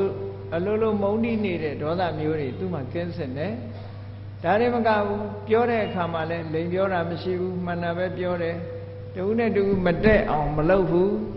တက်အောင်ညီညွတ်အောင်ပဲလုပ်ပေးတယ်ဟောနောက်တစ်ခုကျမ်းနဲ့စကားမပြောဘူးဘယ်တော့ဖြစ်ဖြစ်သူကတိမ်တိမ်မွေးမွေး ရှင်ကျေးတဲ့စကားမျိုးပြောတယ်အကျိုးရှိတဲ့စကားတွေကိုပြောတယ်လို့ဆိုဟောကောင်းတဲ့လမ်းကြောင်းဘက်ကိုသူကရှောက်ကာယကံမှုပြုလုပ်တဲ့အခါမှာလည်းပဲသူကဘယ်တော့မှသူများအသက်ကိုရဲဆက်ဆက်တတ်တာမျိုးမလုပ်ဘူးတဲ့သူများဥစ္စာဆိုလို့ရှိရင်ရှောင်တယ်ဘယ်တော့မှမတရားယူလို့တဲ့စိတ်မရှိဘူးသူများပစ္စည်းနဲ့ပတ်သက်ပြီးတော့မတရားယူလို့တဲ့စိတ်ဘယ်တော့မှမရှိဘူးသူတစ်ပါးသားမယားနဲ့ပတ်သက်ပြီးတော့လည်းပဲသစ္စာရှိတယ်ပေါ့ ဟောအဲ့ဒီလိုကောင်းမြတ်တဲ့သူဆိုင်လမ်းကြောင်းကိုရွေးချယ်ပြီးတော့သွားတဲ့ပုဂ္ဂိုလ်ကြတော့အခုရရှိထားတဲ့ဘဝအနေထားကလည်းပဲထင်သာမြင်သာပြီးတော့လူထဲမှာတင့်တယ်တဲ့ဘဝအလင်းရောင်တွေကဘဝရထားတယ်လုံနေတဲ့အလုပ်တွေကလည်းပဲလူချီးမွမ်းပွဲတင့်တယ်တဲ့အလုပ်တွေကိုလုပ်တယ်ရောက်သွားတဲ့ဘဝကြတော့လည်းပဲလူပြည်နတ်ပြည်ကောင်းမြတ်တဲ့ဘဝရောက်တော့အမြင့်ကနေအမြင့်မဲ့တက်သွားတဲ့ပုဂ္ဂိုလ်မျိုး အလင်းကနေပြီးတော့အလင်းနဲ့ပဲသွားတဲ့ပုဂ္ဂိုလ်မျိုးလို့မြတ်စွာဘုရားကကောသလမင်းကြီးကိုပုဂ္ဂိုလ်၄မျိုးအနေနဲ့ခွဲပြီးတော့ဟောတာဘုန်းကြီးတို့တွေကဆင်ញင်သုံးသပ်ပြီးတော့ချီချီရတယ်ဟောလူဒန်းစားနှစ်ရက်ရှိတယ်ဆင်းရဲမွဲတည်ပြီးအောက်တန်းကျတဲ့လူဒန်းစားကနေပြီးတော့မကောင်းတဲ့လမ်းကိုရွေးတာရှိတယ်ကောင်းတဲ့လမ်းကိုရွေးတာရှိတယ်အေးမှန်ကန်တဲ့မျိုးရိုးမိဘကောင်းပါရဲ့တန်းနဲ့ပစ္စည်းဥစ္စာတွေနဲ့ပြည့်စုံရဲ့တန်းနဲ့ဆင်း ဒီကျမ်းမာကျမ်းမာတဲ့ရုပ်ရည်တင့်တယ်တဲ့အမျိုးရိုးဖြစ်ပါရဲ့တန်းနဲ့ဒုစရိုက်တွေလုပ်တဲ့ပုဂ္ဂိုလ်အဲ့ဒါလိုဘဝမျိုးကကောင်းတဲ့အလုပ်တွေကိုလုပ်တဲ့ပုဂ္ဂိုလ်လို့ဟောဒီလိုနှမျိုးခွဲလိုက်တော့အလုံးဟာပုဂ္ဂိုလ်က၄မျိုးဖြစ်သွားတယ်ပေါ့အဲ့ဒီ၄မျိုးဖြစ်ရတာဟာဘာလို့တာတော့ပုဂ္ဂိုလ်နှမျိုးက၄မျိုးကွဲသွားတာဟာကိုရွေးချယ်တဲ့လမ်းတွေကိုကိုလျှောက်ကြတာပဲလို့ဒီလိုမှတ်ရမှာပေါ့ဒါကြောင့်မို့ ဘုန်းကြီးတို့တွေဟာဒီဘဝတစ်ခုရလာပြီဆိုလို့ရှိရင်ဒါအခြေခံအားဖြင့်ကိုရွေးချယ်လိုက်ကြတယ်အလင်းကနေအလင်းကိုရွေးတယ်ဆိုတော့ဒီတဲ့ရွေးချယ်စရာရှိသေးလားလို့ဆိုရှိသေးတယ်ဘာတွေရွေးရခုမြတ်စွာဘုရားသာသနာတော်နဲ့ဂျုံတွေ့လာတဲ့အခါတာမန်သူစရိုက်လုပ်ငန်းလေးတွေလုပ်ပြီးတော့အဆင့်မြင့်လာတဲ့ကြည့်ဘုရားလောင်းနေကြတော့ပါရမီတွေဖြည့်လာရှင်သာရိပုတ္တရာမထေရမြတ်တို့ကြတော့ ဧကတာဝကစုပန်ပြီးတော့ပါရမီတွေဖြည့်လာတယ်နောက်တစ်ခါမဟာတာဝကတွေကလည်းကဘာတသိန်းပါရမီဖြည့်ပြီးတော့စုပန်လာကြတယ်ကောရမမြတ်စွာဘုရားရဲ့သာသနာတော်မှာရှင်သာရိပုတ္တရာတို့ရှင်မောက္ကလန်တို့ရှင်မာကတ္တဗတို့ရှင်အနန္ဒာတို့ဆိုမထင်ရှားပေဘူးလားမထင်ရှားရှင်အမတန်မထင်ရှားအလင်းနဲ့ကနေအလင်းလာတာအဆင့်ကလည်းတဖြည်းဖြည်းမြင့်လာတဲ့ပုံကိုယ်တွေပေါ့နော်အဲ့တော့ဒီလမ်းတွေကိုဘယ်သူရွေးတာတုံးလို့ဆိုလို့ရှိရင်ကိုရွေးတာပဲပေါ့ ကိုရွေးတဲ့လမ်းကိုကိုလျှောက်တာကြည့်မြတ်စွာဘုရားလက်ထက်တုန်းကမြတ်စွာဘုရားလက်ထက်တုန်းကသောဏဆိုတဲ့တထေသားလေးတယောက်ရှိတယ်အမတန်မှချမ်းသာတယ်သူကသိချမ်းသာတယ်သူကလည်းပဲအမတန်မှနူးညံ့သိမ်မွေးတယ်အဲ့ဒီလူကဘာဆိုဘာလုံးမမလုံးရဘူးအယူအယအပြုစုတွေနဲ့သူကနေတာ ချမ်းသာပြီဆိုလို့ရှိရင်တကယ်ကိုခြေမွေးမီးမလောင်လက်မွေးမီးမလောင်နေရတဲ့အဆင့်တန်းမျိုးเนาะအလုံးအထိန်အရာတွေနဲ့နေတာဘလောက်ထိအောင်သူကလည်းပဲတိမ်မွေ့ပြီးနူးညံ့တော့ဆိုခြေပွားတောင်မှအမွှေးပေါက်တယ်အဲ့ဒီသူ့ခြေပွားအမွှေးပေါက်တဲ့ဆိုအမတန်မှထူးဆန်းလို့သူတို့နယ်ကိုအုပ်ဆိုးတဲ့ဗိမိတာရမင်းကြီးကတော့မှခြေပွားအမွှေးပေါက်တာမမြင်ဘူးလို့သူ့ကိုခေါ်ကြည့်ရအဲ့ဒါလောက်ထိအောင် ဒီလူကထူးထူးဆန်းဆန်းရှိတယ်တထေသာတောနာမြတ်စွာဘုရားကတရားဟောလိုက်တဲ့အခါဘုရားတရားကိုနာပြီးတော့သူ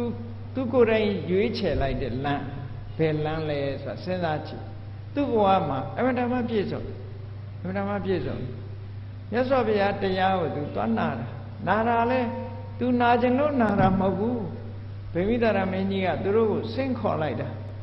သောနာနဲ့သူအဲ့ဒီနယ်က တထေသားတွေအလုံးကိုဆင့်ခေါ်လိုက်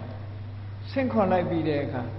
အဓိကကတော့ဒီသောနာရဲ့ခြေဘဝမှာအမွေးပေါက်တယ်ဆိုတာကြည့်ချင်တာအဲ့ဒါလည်းပါအဲ့တော့သူကြည့်ကျင်တာကိုဘယင်ကြီးမြင်လို့ရအောင်ဆိုပြီးသူ့အဖေကအကြံပေးလိုက်တာငါသားတဲ့မင်းဘယင်ဘက်ကိုခြေတော်ကြီးဆင်းပြီးတော့မထိုင်နဲ့တဲ့ ဘယင်ကြီးကမင်းခေါ်တာငါသိတယ်တဲ့မင်းခြေတော်အမွှေးပေါက်တယ်ဆိုတာသူသတင်းကြားလို့သူကထူးထူးဆန်းဆန်းမှုကြည့်ကျင်လို့မင်းခေါ်တာဒီပြင်အကြောင်းမပါဘူးသို့တော့ဘယင်ဆိုတာမျိုးကဟန်ဆောင်တယ်လေဒီလူတွေကိုဆင့်ခေါ်ပြီးတော့သူကဆုံးမစကားပြောတာပဲဆုံးမစကားပြောရင်းနဲ့ဘယင်ကသူ့ခြေထောက်မှာအမွှေးပေါက်တယ်ဆိုတာကိုကြည့်တယ် ဘယ်တော့မှဘယင်ကသောနာငါနာလာသာမင်းချီဘွားလှမ်းစမ်းငါကြည့်ကျင်တဲ့အမွှေးဘယ်တော့မှမပြောဘူးဘယင်ဆိုတဲ့လူမျိုးကဟုတ်ကဲ့လားသို့တော့ဒီလူကနားလဲရသူ့အဖေကမှားလိုက်တယ်မင်းကိုခေါ်တာဟာတခြားကြောင်းမဟုတ်ဘူးဒါပါတယ်အဲ့ဒါကြောင့်ငါသားဘယင်ရှိရောက်တဲ့အခါဘယင်ကိုအယိုသေးပြုတ်ပြီးတော့ခြေဘွားဖော်ပြီးတော့တင်မြင်ခွေးထိုင်လိုက်ဘယင်ကသူတွေ့ကျင်တာတွေ့သွားလိမ့်မယ်လို့ကြံပေးလိုက်တယ် အဲ့ဒါနဲ့ဘယင်းစီရောက်တဲ့အခါကျတော့ဘယင်းကို respect လုပ်ပြီးတော့အယုသိပေးပြီးတော့သူခြေပွားကိုဖော်ပြီးတော့ထိုင်တော့ဘယင်းကအင်းဟုတ်သားပဲဒီကောင်ခြေပွားအမွှေးတွေနဲ့ပဲဆိုတော့သိရပြီးတဲ့အခါကျတော့ဘယင်းကြီးကဆုံးမတယ်မင်းတို့အလုပ်ကြိုးစားကြဖို့နော်တိုင်းပြည်ရဲ့အခွန်ပတ္တာတွေမှန်မှန်ကန်ကန်ပေးကြဖို့စသဖြင့်ပေါ့လေလောကီရေးရကိစ္စတွေဘယင်ကြီးကဆုံးမဩဝါဒပေးပြီးတော့ဗာပြောလိုက်တယ် ငါတော့မင်းတို့လောကီကိစ္စတွေနဲ့ပတ်သက်ပြီးဆုံးမပြီးပြီတဲ့ဖះเจ้าတော်ကိုသွားလိုက်ကြအောင်ဝေလွန်းเจ้าတော်မှာဖះမဝေးဘူးဒီနားမှာရှိအဲ့တော့မင်းတို့ဖះစီသွားဖះကမင်းတို့တမလွန်လောကကိစ္စနဲ့ပတ်သက်ပြီးတရားဓမ္မနဲ့ပတ်သက်ပြီးမင်းတို့ဆုံးမလိုက်မယ်ဖះစီသွားကြအောင်ငါတော့လောကီကိစ္စတွေဆုံးမပြီးပြီဖះကလောကုတ္တရာကိစ္စတွေဆုံးမလိုက်မယ်လို့ဆိုလွတ်လိုက်တာ လွတ်လိုက်တာဘယင်ကလွတ်လိုက်လို့သူတို့ဘုရားဘူးသွားကြတယ်ဟောဘုရားစီရောက်တဲ့အခါကျတော့မြတ်စွာဘုရားကအဲ့ဒီပရိသတ်ကိုဆုံးမဩဝါဒပေးတာတရားဟောတာဘုရားဟောလိုက်တဲ့တရားကိုနားလဲရတဲ့အခါကျတော့ကျန်တဲ့ပုဂ္ဂိုလ်တွေဘာဖြစ်တယ်ဆိုတာတော့မသိဘူးအဲ့ထင်မယ်ဒီတထေသားကဘုရားတရားနာရင်နာရင်နဲ့သူဘာအတွေးတွေပေါက်လာတယ် ဓာတ်လောက်မြင့်မြတ်တဲ့အကျင့်တစ်ခုကိုကျင့်တာငါအိမ်မှာနေလို့ဘယ်လိုလုပ်မှမကျင့်နိုင်ဘူးဒီအကျင့်တွေကိုကျင့်ပြီးတော့စံတရားတွေမတရားတွေဖို့တရားတွေကိလေသာအသောကုန်နဲ့ယဟန္တာဘဝဆိုတဲ့ဒီအဆင့်တွေနိဗ္ဗာန်ချမ်းသာကိုငါရအောင်လုပ်ချင်တယ်ဆိုပြီးတော့သူအဲ့ဒီလမ်းကြောင်းကိုရွေးလိုက်တာလေအဲ့တော့ရွေးလိုက်ပြီးတော့တရားပွဲလဲပြီးတော့ဘုရားစီကိုသင်္ကန်းဝတ်ဖို့လျှောက်တော့မြတ်စွာဘုရားကမိဘစီခွင့်တောင်းခိုင်းလိုက်တယ် မိဘတွေကခွင့်မပေးခြင်းဘူးမပေးခြင်းပေမဲ့လို့သူကသာသနာပေါင်းနောက်ဆုံးကြတော့လိုက်လျောရတော့သာသနာပေါင်းသူဝင်သွားတယ်ဒါသူရွေးတဲ့လမ်းနော်ကိုယ်တိုင်ရွေးတဲ့လမ်းပဲရွေးပြီးတော့မြတ်စွာဘုရားစီတရားတောင်းပြီးသူကြိုးစားအထုတ်တယ်သူဖျားဟောထားတဲ့အဆင့်တွေကိုဇန်တရားတို့မက်တရားတို့ဆိုတာသိရခြင်းတယ်ရခြင်းသည့်အတွက်ကြောင့်မြတ်စွာဘုရားညွှန်ပြတဲ့လမ်းကြောင်းအတိုင်းသူကြိုးစားအထုတ်တယ် ဘလောက်ထိအောင်အာထုတ်တုံးလို့ဆိုတဲ့အခါအဲ့ဒီခေတ်တုန်းကရဟန်းတော်တွေကဖဏစည်းတာမရှိသေးဘူးဖဏစည်းတယ်ဆိုတာမရှိဘူးခြေဘွားတုံးလုံးနဲ့နေကြအဲ့ဒီချိန်မှာ तू ကအိမ်မှာနေတုန်းကကော်စောပေါ်ရင်လမ်းလျှောက်တဲ့လူလေအခုသာသနာပေါင်းရောက်လာတဲ့အခါမြေကြီးပေါ်မှာလမ်းလျှောက်တဲ့အခါအမွှေးတွေကလည်းကျွတ်ကုန်နောက်ဆုံးကြတော့သူ့ခြေပေါ်အနုနုလေးကလမ်းလျှောက်ပါများတဲ့အခါကျတော့အရေးတွေစုပ်ပြီးတော့ အဖူးတွေထပြီးနောက်ဆုံးမှခြေပွားကသွေးတွေထွက်လာတယ်အဲ့လောက်ထိအောင်သူကလည်းကြိုးစားအထုတ်တယ်လမ်းလျှောက်တယ်ဘုရားဟောတဲ့အတိုင်းကြိုးစားတယ်နောက်ဆုံးမှခြေပွားနဲ့လမ်းမလျှောက်နိုင်ဘူးဆိုတဲ့အခါကျတော့ဒူးလေးနဲ့ထောက်ပြီးတော့လေးပဲထောက်ပြီးတော့လမ်းလျှောက်ပြီးတော့တရားထုတ်အဲ့ဒါလို့ကြိုးစားအထုတ်တာနဲ့နောက်ဆုံးမှသူ့စိတ်ထဲမှာအတွေးတစ်ခုဝင်လာငါရွရွချွန်ချွန်ကြိုးစားအထုတ်ရတဲ့မြတ်စွာဘုရားဟောတဲ့ ဇံမဲ့ဖို့ဆိုတဲ့အဆင့်ငါမရဘူးဖြစ်နေတယ်ငါမှအဲ့ဒီအဆင့်မမီဘူးထမရဲ့အိမ်ပြန်ပြီးတော့တခြားကုသိုလ်ပဲလုံးမပဲဆိုအတွေးလေးဝင်တဲ့အချိန်မြတ်စွာဘုရားအနိနာရောက်လာပြီသူ့မြတ်စွာဘုရားတရားဟောပြမင်းဒုဘွားတော့ကစောင်းတီးတာကျွမ်းကျင်တယ်မဟုတ်လားကျွမ်းကျင်တယ်အေးစောင်းတီးတဲ့အခါမှာစောင်းကျိုးကိုဘယ်လိုထားရစောင်းကျိုးတွေဟာသိရော့နေတဲ့အခါမှာအတ္တမတာဘူး စောင်းကျိုးတွေသိတင်းနေလို့ရှိရင်လည်းအတ္တမတာဘူးဒါကြောင့်မို့စောင်းကျိုးဆိုတာမလျော့မတင်းထားပြီးတီးမှအတန်တာရတယ်သူကစောင်းတီးအမတန်မှကျွမ်းတဲ့သူဘုရားအဲ့ဒီဥမာပြောပြောပြီးတော့ဟောပြီးတဲ့အခါဝီရိယနဲ့တမာတိမျှအောင်ကျင့်ဖို့နီးလမ်းပေးလိုက်တယ်အဲ့ဒီမှာသူမြတ်စွာဘုရားနီးပေးတဲ့အတိုင်းသူ့ရဲ့စိတ်စွမ်းအားတွေနဲ့တမာတိစွမ်းအားတွေကြိုးစားမှုဝီရိယစွမ်းအားတွေကိုထိမ့်ညှိပေးလိုက်တဲ့အခါမှာသူကယန္တာဖြစ်သွား သူလျှောက်တဲ့လမ်းနော်သူရွေးတဲ့လမ်းကနေပြီးတော့သူလျှောက်လိုက်တဲ့အခါကျတော့ကြည့်အမတန်မြင့်မြတ်တဲ့ဘဝကအမတန်မှအထက်တန်းကြတဲ့လူဘဝတစ်ခုကနေပြီးတော့မြင့်မြတ်တဲ့ယဟန်ဘဝတစ်ခုကူးပြီးတော့နောက်ဆုံးမှယဟနာထီအောင်ဖြစ်သွားကိလေသာအာတော်တွေကုန်သွားတော့အတုတဲ့အလင်းရောင်နဲ့ရောက်သွားတဲ့ပုဂ္ဂိုလ်ပဲရှိမှာတော့အဲတော့အဲ့ဒါကြောင့်မလို့ဘုန်းကြီးတို့တွေရွေးချယ်ရမယ်ဆိုတဲ့ကိုယ်တိုင်ရွေးရမယ်ဆိုတဲ့လမ်းဟာ နောက်ဆုံးကဒီလမ်းပဲဖြစ်ရဟုတ်ကဲ့လားနောက်ဆုံးရွေးချယ်ရမယ်လမ်းဒီမဲ့လမ်းဖို့လမ်းဆိုတာကိုရွေးချယ်ပြီးတော့နောက်ဆုံးနိဗ္ဗာန်ကိုသွားတဲ့လမ်းကိုရွေးချရမှာပဲပေါ့အဲ့ဒီလမ်းကိုမရွေးသေးသမျှကျန်တဲ့လမ်းတွေမှာတော့ဒုက္ခရောက်နေကြအောင်ပါပဲနောက်ဆုံးမှာအိုခြင်းနာခြင်းသိခြင်းဆိုတဲ့ဒုက္ခတွေကိုရောက်အဲ့ဒီဒုက္ခတွေကလွတ်ကင်းသွားတဲ့ဒီလမ်းကိုကိုရွေးတဲ့လမ်းဟာမဂ္ဂင်၈ပါးဆိုတဲ့ နိဗ္ဗာန်ကိုသွားတဲ့လမ်းကိုပဲရွေးကြရမှာတဲ့တာမန်ဒုစရိုက်သူစရိုက်လမ်းလေးဆိုတာဘဝခရီးကိုလျှောက်တဲ့အခါမှာတက်တက်တာတာလူဖြစ်လိုက်နတ်ဖြစ်လိုက်မြမဖြစ်လိုက်တက်တက်တာတာသွားနိုင်ုံပဲရှိသေးတယ်။ပိုခြင်းဆင်းရဲနာခြင်းဆင်းရဲသိခြင်းဆင်းရဲတွေနဲ့နောက်ဆုံးမှတွေ့ချရအောင်မယ်။ဒါကြောင့်မို့လို့နောက်ဆုံးဘုန်းကြီးတို့တွေကိုရွေးရမဲ့လမ်းဆိုတာဟာမဂ္ဂင်၈ပါးဆိုတဲ့နိဗ္ဗာန်လမ်းပဲ။ အကယ်၍ဒီထဲမှာဒုစရိုက်လမ်းကိုရွေးလိုက်ပြီဆိုရင်ဟုတ်အောင်ရောက်သွားပြီလားမှတ်ပြီနော်။ဒုစရိုက်ကိုလမ်းကိုရွေးလိုက်ရင်တော့အလင်းနဲ့ပြန်ပေါ်လာအောင်ပါပဲ။နောက်ဆုံးမှာအဲ့ဒီဒုစရိုက်လမ်းဒုစရိုက်လမ်းနေတဲ့ပို့ပြီးတော့အဆင့်မြင့်တဲ့မဂ္ဂင်၈ပါးဆိုတဲ့လမ်းကြောင်းပေါ်မှာတက်လိုက်မိပြီဆိုတဲ့အခါဘုန်းကြီးတို့တွေဟာနိဗ္ဗာန်ကိုရောက်ရှိသွားပြီးတော့သာဝရငြိမ်းတဲ့အငြိမ်းတက်ကိုရသွားမှာဖြစ်ပါတယ်အဲ့တော့မဂ္ဂင်၈ပါးဆိုတဲ့ လမ်းကြောင်းပေါ်ဘလို့လျှောက်တယ်လဲဆိုတာရှောက်ပုံရှောက်နည်းလေးကိုနည်းနည်းကြည့်ကြည့်အကျဉ်းလေးတွေပဲရှောက်ပုံရှောက်နေထွက်လေဝင်လေလေးကိုအာယုံပြုတ်နေတာဟာလမ်းဒီလမ်းပေါ်ရှောက်နေတယ်လို့ခေါ်တယ်နော်ကဲကိုချင်းတီလာလေးကိုစောင့်တည်လိုက်စောင့်တည်လိုက်ပြီးတဲ့အခါမှာကိုချင်းတီလာကိုအင်အားယူလိုက်ကိုချင်းတီလာရှိတယ်ဆိုတာကိုယ့်ကိုငါတီလာရှိတဲ့လူလို့ကိုယ့်ကိုယ်ကို confidence ယုံကြည်မှုလေးကိုကလေးတွေပြောတယ်မဟုတ်လားကီသွင်းတယ်လို့ပြောတာမဟုတ်လား အေးကီလေးသွင်းလိုက်ပေါ့ကိုယ်စိတ်ထဲမှာအားတွေဖြည့်လိုက်ငါမှာကိုချင်းသီလတွေပြည့်စုံတယ်ငါအခုချိန်မှာငါးပါးသီလကိုဆောင်းစောင့်တည်ထားသည့်အတွက်ကြောင့်ကျိုးတာပေါက်တာမြောက်တာမရှိဘူးဒါကြောင့်မို့ကိုချင်းသီလနဲ့ငါပြည့်စုံတယ်လို့စိတ်แท้ကကိုယ့်ကိုဝမ်းသာအောင်ကြည်နူးအောင်လုပ်ပြီးတဲ့အခါဟောကမ္မထမ်းဆရာတွေညွန်ပြတဲ့အတိုင်းထွက်လေဝင်လေလေးကိုမှတ်ကြည့်လိုက်ပေါ့ ထွက်လာတဲ့ဝင်လေလေးဝင်တဲ့လေလေးရဲ့ထိတဲ့နေရာလေးကိုအာရုံပြုပြီးတော့ကြည့်လိုက်တဲ့အခါမှာကြိုးစားပြီးတော့မှတ်နေတဲ့အခါမှာကြိုးစားမှတ်နေတာကတမ္မာဝါယာမပဲအဲ့ဒီထွက်လေဝင်လေလေးနဲ့စိတ်နဲ့အမြဲတွေ့နေတာကတမ္မာတတိပဲအဲ့ဒီထွက်လေဝင်လေလေးပေါ်မှာစိတ်ဟာတည်ငြိမ်ပြီးတော့ကြာသွားတာကတမ္မာသမာဓိပဲအဲ့ဒီထွက်လေဝင်လေလေးရဲ့သဘာဝကိုစဉ်းစားတာကတမ္မာသင်္ကပ္ပပဲ ထွက်လေဝင်လေလေးရဲ့သဘာဝကိုသိသွားပြီဆိုလို့ရှိရင်တမ္မာဒိဋ္ဌိပဲပေါ့အဲ့တော့ကိုလျှောက်တဲ့လမ်းဟာဘယ်လမ်းတော့ကိုရွေးတဲ့လမ်းဟာဘယ်လမ်းတော့ဆိုမဂ္ဂင်၈ပါးလမ်းပေါ်မှာရွေးတာ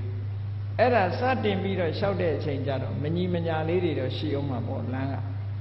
အဲ့ဒီမဂ္ဂင်၈ပါးလမ်းဟာနောက်ဆုံးကျတော့တညီတည်းဖြစ်သွားပြီးတော့တစုတည်းတစ်ခုတည်းကဲ့သို့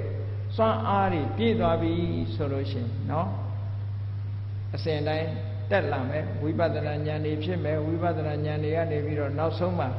သင်္ခါရတရားတွေရဲ့ချုပ်ဆုံးမှုဆိုတဲ့နိဗ္ဗာန်ကိုအာရုံပြုပြီးတော့မက်ဆိုတဲ့ဒီဒီရှစ်ခုဟာစွမ်းဆောင်မှုတစ်ခုကိုရရှိပြီးတော့ကိုယ်တဏ္ဍာမှာရှိတဲ့ပထမအကြိမ်မှာအမြင်မှားမှုနဲ့တန်တရားရှိမှုကိုဖယ်ရှားလိုက်လိမ့်မယ်နောက်တစ်ခါတဆင့်တက်လာတဲ့အခါကျတော့ကာမရာဂလို့ခေါ်တဲ့ကာမဂုဏ်အာယုန်စိတ်တွေလျော့ပါသွားစေလိမ့်မယ် ဒေါသတွေကိုလျော့ပါသွားစေလိမ့်မယ်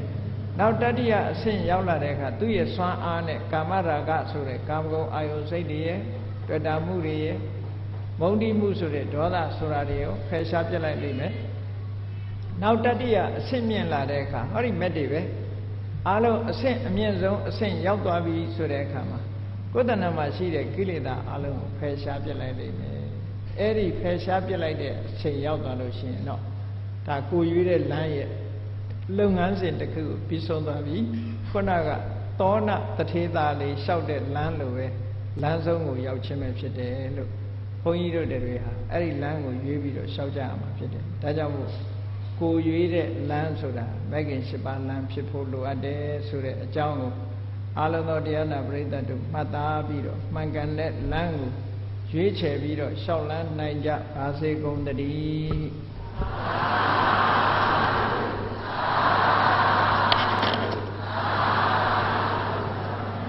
ကဲမေတ္တာပို့မယ်တတဝါများစွာဘေးရန်กว่าချမ်းသာကြပါစေဖုံလ ာ